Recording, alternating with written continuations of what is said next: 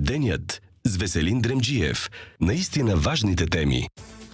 Дами и господа, добър вечер. Благодаря, че сме заедно и днес ето важните теми с анализи и коментари до 20 часа. ГЕРБ получи първия мандат за съставяне на правителство и малко изненадващо веднага го върна изпълнен. Кандидат за министър-председател е Росен Желясков, който се отказа да бъде евродепутат. Съставът на правителството е дежавю, вече видяно на управлението на Борисов, което изкара хиляди по улиците на градовете на България, знак на протест срещу корупционното му управление. За министри са предложени Томислав Дончев, който като министър похарчи минимум 200 милиона лева, колкото са освоените по европейски проекти с етикет електронно управление, между 200 до 2 милиарда лева, колко са всичките разходи за IT в държавната администрация, а електронно правителство и управление няма. В правителството падат маските, проваления от насилието на футболните фенове до проспиването на връщането на Брендо, вътрешен министр Стоянов, важен и за Пеевски. През Теменушка Петкова, която все още не може да открие пътната карта с Газпром. През Делян Добрев с неговия Dream Team, който не може да обясни защо не падат цените на горивата въпреки размахваните фактури. През здравния кандидат за министър Костадин Ангелов, който докара до фалит Александровска болница. Отстранение като регионален министър заради катастрофата с 20 жертви край Слогия Николай Нанков през Деница Сачева, която твърдеше, че ГЕРБ е с криминални корени, до кандидата за правосъден министр, бившата заместничка на главния прокурор, също верен на Пеевски. А за транспортен министр е предложен Георги Гвоздейков който върна преди дни за шеф на авиоотряд 28, бившия охранител на Борисов. И по този повод съветникът на Румен Радев Димитър Стоянов написа, виждате във Фейсбук, че е скандал да слагаш за шеф на авиосигурността бившия гавазин на Борисов, т.е. вместо летец, гребец. Борисов във видимо лошо настроение за това, че трябва да направи правителство, което Кирил Петков минути преди връчването на мандата каза, че ППДБ няма да подкрепи. Борисов нарисува картина на правителство без програма, без хоризонт, явно с цел в най-добрия случай да подготви среда за следващи избори. Чуйте го. Ако правителството мине с някой трик, дали някои не дойдат, дали някои ни подкрепят не като парти, не като мнозинство, което да изпълнява нашата програма. Ясно заявено мнозинство, стабилно мнозинство, то тогава правителството ще има много кратък живот. Но не, че някой ще го събори. Просто ние ще излезем от него. Това са две големи разлики. В този кратък живот единствената първа и най-важна цел е да приеме бюджета. Той трябва да се актуализира и трябва да се приеме. Другото е, и затова Томислав Дончев е зад мен, плана за възстановяване, еврофондовете. Вие знаете, че като се махнат преките плащания, ние станахме държава донор на Европейския съюз вследствие на тези три години управление. Еврозоната е политически въпрос и ако има правителство, аз мисля, че можем да го придвижиме, така както ви вкарахме в Европейския банков съюз, чакалнята на еврозоната. След това спокойно може да отидем на избор. Всъщност в стил имам принципи, ако не ви харесват, имам други принципи. Бойко Борисов направи оферта, която от партиите в парламента пожелае, може да изтъркува подкрепата си срещу включването на свои министри. Явно ДПС вече са осигурени, защото коктейлът от молби и заплахи на Борисов отново днес беше към Продължаваме промяната Демократична България. Случайно или по-скоро не, в хакнатия, както той твърди, профил в Твитър на Иверин Михайлов от Величие, се призовава за подкрепа на правителството на ГЕРБ. Самият Борисов намекна за, чухте го, машинации с кворума, които да осигурят избора на правителството Желясков, което вече в социалните мрежи бива наричано правителство на реванша. Това става на фона на бруталното овладяване на ДПС до степен да се говори, че има нов възродителен процес. Дава ли шанс това на други партии, които представят българските мусулмани? Още повече днес, когато стана известно, че организациите на ДПС забележете, в Асеноград и в Първомай, са поискали реакция от Ахмед Доган заради отстраняването на Рамадан Аталай. Затова съм поканил да говорим с Корман Исмаилов, бивш депутат и лидер на младежкото ДПС, съосновател на Народната партия Свобода и достоинство. Добър вечер. Добър вечер. И благодаря, че сте с нас. Благодаря. Господин Исмаилов. А да добавя и това, което отбелязва Емилия Милчева по темата. Тя казва, никой не се усмели да каже, че спадът в гласуването в Турция е и заради самият Пеевски. Любопитно е, че днес два пъти Росен Желясков каза, че една от целите на ГЕРБ, ако състави правителство, била в сферата на бюджета и на финансовата политика на страната. Това идва на фона на отличното състояние на публичните финанси и заслужава да бъде анализирано.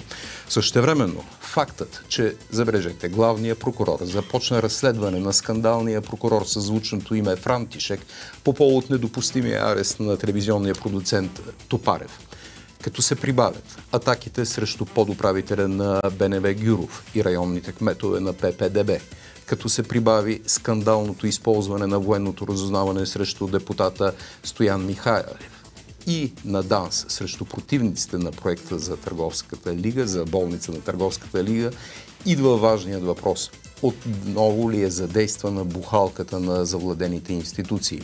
Затова и как политическата неопределеност може да се отрази на шансовете за бърз прием в еврозоната, какви са реалните прогнози за покриването на критерия за инфлация. За всичко това, а и за шансовете за ново правителство ще говорим с Георги Ганев, економист, преподавател в Софийския университет, бивш депутат. Ще го попитам, чии сметки излязоха и че и чии не.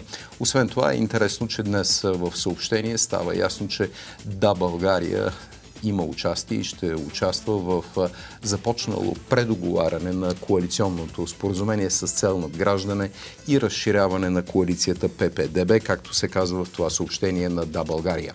От другите теми, които следим, вчера с много помпозност за патриарх на Българската православна църква беше избран откровенно пропутинския видински митрополит Даниил с нулева благост, с очевидна липса на емпатия, състрадателност и с вид на филмов герой от филм за инквизицията, новият български най-виш духовен сановник получи вече задача от руската посланничка в София Митрофанова, Митрофанова да не признава Украинската църква, отделена от Москва. Тук ги виждате на карикатурата на Комарницки.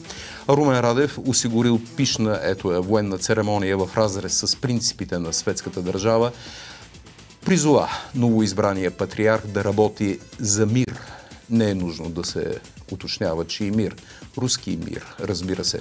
Затова, след като известният експерт по православните въпроси Сергей Чапнин каза за BBC, че Българската православна църква има вече лице с московска гримаса, епископ Тихон заяви, че не си е представил да бъде избран патриарх, който е на страната на Русия – който да призовава свещениците да подкрепят агресора. Затова Тихон се опасява отново разделение в Светия Синод. Недоволството от избора, който е според мнозина като по учебник на КГБ, недоволство обяви вече архимандрит Никанор. Той каза, че напуска Българската православна църква, защото Даниил няма качества да бъде патриарх. Ето още от думите му в студиото на сайта Актуално човека, който беше избран за български патриарх, за мен няма необходимите качества на такъв.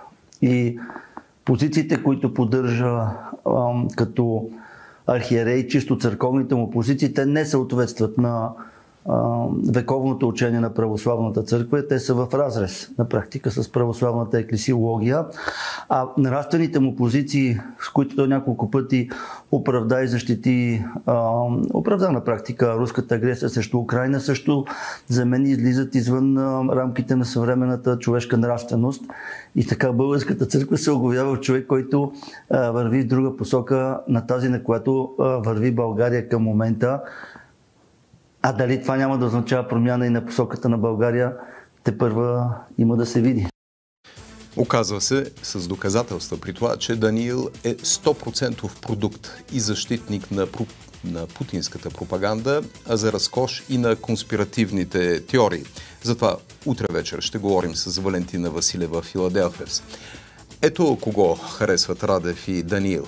Американският институт за изследване на войната пише в поредния си анализ, че очевидно Путин очаква, че Русия ще успее да задържи всяка завладяна украинска територия и че колкото по-дълго продължава войната, толкова по-голям е шансът Русия да постигне заявените си териториални цели, които обаче Кремъл съзнателно очертава възможно най-неясно. Путин вероятно се надява, че бавният напредък в Украина ще убеди Запада, че военната победа над Русия е невъзможна и че загубата на част от територията на Украина е за предпочитане пред пълното поражение на Украина. В момента Путин, казва института, е готов само за пълната капитулация на Киев. Той ще разглежда Путин всяко договорено прекратяване на огъня като механизъм, който да позволи на Русия да се подготви за възобновяване на нападателните операции в бъдеще. Затова западната помощ, която осигурява на украинските сили необходимите оръжия, така че Украина да освободи значителни територии, тази доставка на оръжие остава единственият правдоподобен начин да бъде отслабено желанието на Путин да унищожи украинската държава и идентичност, независимо от времето за това и за разходите за всички. Путин се надява и могъщата му пропаганда, използвана особено в Европа, и умората на западните общества, всичко това да доведе до промяна в съотношението на политическите сили в Европа. Сега най-големите надежди на Кремъл са във Франция да има правителство на крайно десния национален съюз, който има в портфела си евроскептични, антиеврейски, проруски изказвания и позиции. Джордан Бардела, ето го, лидерът на Съюза и приемник на Марин Люпен, разчита на вчерашната победа на предсрочните парламентарни избори при рекордна активност от 66% исторически голяма победа постигна Националния съюз пред Левия народен фронт, като на трето място е мнозинството на Макрон.